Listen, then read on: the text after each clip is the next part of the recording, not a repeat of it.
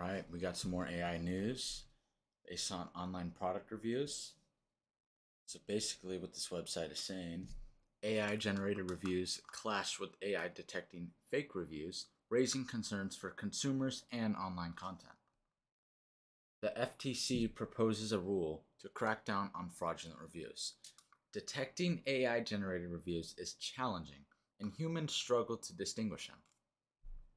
Consumer advocates worry about the deceptive reviews as 90% of consumers rely on them while shopping online.